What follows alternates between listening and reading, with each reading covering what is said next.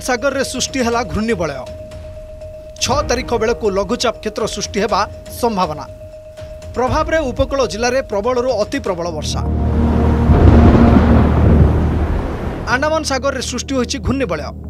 ଛଅ ତାରିଖ ବେଳକୁ ଦକ୍ଷିଣ ଆଣ୍ଡାମାନ ସାଗର ଏବଂ ତାର ପାର୍ଶ୍ୱବର୍ତ୍ତୀ ଅଞ୍ଚଳରେ ଏକ ଲଘୁଚାପ କ୍ଷେତ୍ର ସୃଷ୍ଟି ହେବାର ସମ୍ଭାବନା ରହିଛି ଯାହା ପରବର୍ତ୍ତୀ ସମୟରେ ଉତ୍ତର ପଶ୍ଚିମ ଦିଗରେ ଗତି କରିବା ସହ ପରବର୍ତ୍ତୀ ଅଡ଼ଚାଳିଶ ଘଣ୍ଟା ମଧ୍ୟରେ ଅଧିକ ଘନୀଭୂତ ହୋଇ ଏକ ଅବପାତରେ ପରିଣତ ହେବାର ସମ୍ଭାବନା ରହିଛି।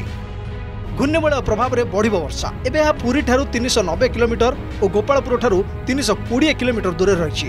ଦିଗ ପରିବର୍ତ୍ତନ କରି ଉତ୍ତର ଦିଗକୁ ଗତି କରୁଛି ଯାହାକି କେନ୍ଦ୍ରୀଭୂତ ହୋଇ ଅବପାତ ରୂପ ନେବ। ଏହାର ପ୍ରଭାବରେ ଗଞ୍ଜାମ ଗଜପତି ଖୋର୍ଦ୍ଧା ପୁରୀ ଜଗତସିଂହପୁର କେନ୍ଦ୍ରାପଡ଼ାରେ ପବନ ବହିବ। ସେହିପରି ବର୍ଷା ଯୋଗୁଁ କିଛି କିଛି ସ୍ଥାନରେ ଜଳବନ୍ଦୀ ସମସ୍ୟା ସୃଷ୍ଟି ହେବ। ଚାଷ ମଧ୍ୟ ପ୍ରଭାବିତ ହେବ ବୋଲି କହିଛନ୍ତି ଆଇଏମ୍ଡିଟିଜି ପାଞ୍ଚ ତାରିଖ ପାଖରୁ ଆଠ ତାରିଖ ପର୍ଯ୍ୟନ୍ତ ସମୁଦ୍ର ଅଶାନ୍ତ ରହିବ। ପବନର ବେଗ ପାଞ୍ଚ ତାରିଖରେ ଚାଳିଶରୁ ପଚାଶ କିଲୋମିଟର ପ୍ରତି ଘଣ୍ଟା ୱେଷ୍ଟନେସ୍ରେ ଷାଠିଏ କିଲୋମିଟର ପ୍ରତି ଘଣ୍ଟାରେ ଆରମ୍ଭ ହେବ ଏବଂ ବଢ଼ି ବଢ଼ିକି ଆଠ ତାରିଖ ସକାଳ ବେଳକୁ ଏହି ଅଞ୍ଚଳରେ ପବନର ବେଗ ପଞ୍ଚାବନରୁ ପଞ୍ଚଷଠି କିଲୋମିଟର ପ୍ରତି ଘଣ୍ଟା ଏବଂ ୱେଷ୍ଟନେସ୍ରେ ପଞ୍ଚସ୍ତରୀ କିଲୋମିଟର ପ୍ରତି ଘଣ୍ଟା ହୋଇପାରେ ଆଜି ଆମର ସକାଳ ସମୟରେ ଗୋଟେ ଘୂର୍ଣ୍ଣିବଳୟ ସୃଷ୍ଟି ହୋଇଛି ଦକ୍ଷିଣ ଆଣ୍ଡାମାନ ସାଗର ଏବଂ ତାର ପାର୍ଶ୍ୱବର୍ତ୍ତୀ ଅଞ୍ଚଳରେ ଯାହା ପ୍ରଭାବରେ ପରବର୍ତ୍ତୀ ଯେଉଁ ଛଅ ତାରିଖ ରହୁଛି ସେତେବେଳକୁ ଗୋଟେ ଲଘୁଚାପ କ୍ଷେତ୍ର ସୃଷ୍ଟି ହେବାର ସମ୍ଭାବନା ରହିଛି ଏଇ ଯେଉଁ ଲଘୁଚାପ କ୍ଷେତ୍ର ସୃଷ୍ଟି ହେବା ପରେ ଏହା କ୍ରମାଗତ ଭାବେ ଉତ୍ତର ପଶ୍ଚିମ ଦିଗରେ ଗତି କରିବ ଏବଂ ପରବର୍ତ୍ତୀ ଅଡ଼ଚାଳିଶ ଘଣ୍ଟାରେ ଏହା ଘନୀଭୂତ ହୋଇ ଗୋଟେ ଅବପାତ ବା ଡିପ୍ରେସନରେ ପରିଣତ ହେବ ଦକ୍ଷିଣ ପୂର୍ବ ବଙ୍ଗୋପସାଗର ତା ଛଡ଼ା ପୂର୍ବ କେନ୍ଦ୍ରୀୟ ବଙ୍ଗୋପସାଗର। ଏଇ ଯେଉଁ ଅଞ୍ଚଳ ରହୁଛି ସେ ସେ ଅଞ୍ଚଳରେ ସମୁଦ୍ର ଅଶାନ୍ତ ରହିବାର ସମ୍ଭାବନା ରହିଛି। ପାଞ୍ଚ ତାରିଖ ପରଠାରୁ ପବନର ବେଗ ଆପଣଙ୍କର ଚାଳିଶରୁ ପଚାଶ କିଲୋମିଟର ଘଣ୍ଟା ପ୍ରତି ରହିବାର ସମ୍ଭାବନା ରହୁଛି ଯାହା ପରବର୍ତ୍ତୀ ସମୟରେ ଆଠ ତାରିଖ ବେଳକୁ ଏହା ଧୀରେ ଧୀରେ ବୃଦ୍ଧି ପାଇ ଆପଣଙ୍କର ପଞ୍ଚାବନରୁ ପଞ୍ଚଷଠି ସର୍ବାଧିକ ପଞ୍ଚସ୍ତରୀ କିଲୋମିଟର ପର୍ଯ୍ୟନ୍ତ ପହଞ୍ଚିବାର ସମ୍ଭାବନା ରହୁଛି। ଆଗାମୀ ତିନି ଦିନ ପରେ ବାତ୍ୟାର ଚିତ୍ର ସ୍ପଷ୍ଟ ହେବ। ତେବେ ଏହା ପୂର୍ବରୁ ସଜାଗ ରହିବାକୁ ସବୁ ଜିଲ୍ଲାପାଳଙ୍କୁ ନିର୍ଦ୍ଦେଶ ଦିଆଯାଇଛି।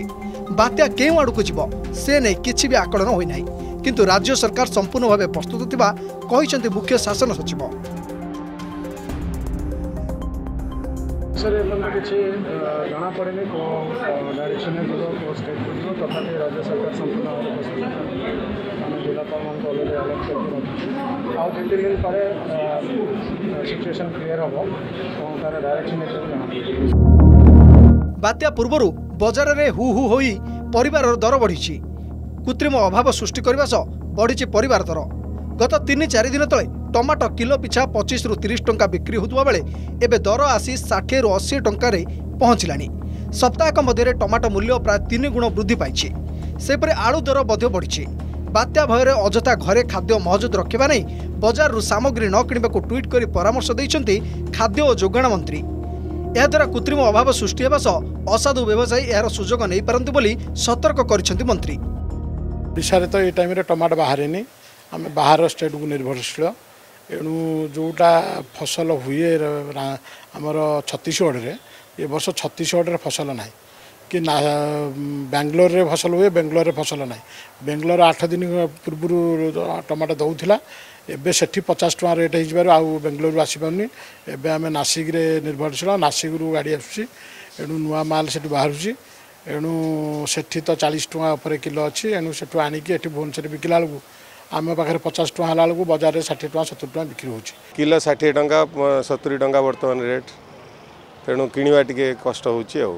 ସେଠି ଆମଦାନୀ ବର୍ତ୍ତମାନ କମ୍ ଅଛି ଯିଏକି ଯେଉଁଠି ଆମଦାନୀ ଚାରିଟା ପାଞ୍ଚଟା ଟ୍ରିପ୍ ଆସେ ଏଠି ଗୋଟାଏ ଟ୍ରିପ୍ ଆସୁଛି। ରେଟ୍ ଯେଉଁ ଉଞ୍ଚା ଅଛି ବର୍ତ୍ତମାନ ଯିଏ କିଲେ ନେଉଥିଲା ସିଏ ଅଧ କିଲେ ନେଉଛି।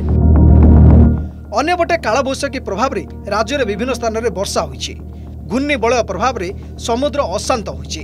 ତେଣୁ ମତ୍ସ୍ୟଜୀବୀମାନଙ୍କୁ ସମୁଦ୍ର ଭିତରକୁ ନ ଯିବାକୁ ପରାମର୍ଶ ଦିଆଯାଇଛି। ନୂଆଦିଲ୍ଲୀରୁ ଗଗନ ବିଶ୍ୱାଳ ଭୁବନେଶ୍ୱରରୁ ଦିବ୍ୟଜ୍ୟୋତି ମହାନ୍ତି ଓ କବିତା ସ୍ୱାଇଁଙ୍କ ରିପୋର୍ଟ ଅର୍ଗସ୍ ନ୍ୟୁଜ୍।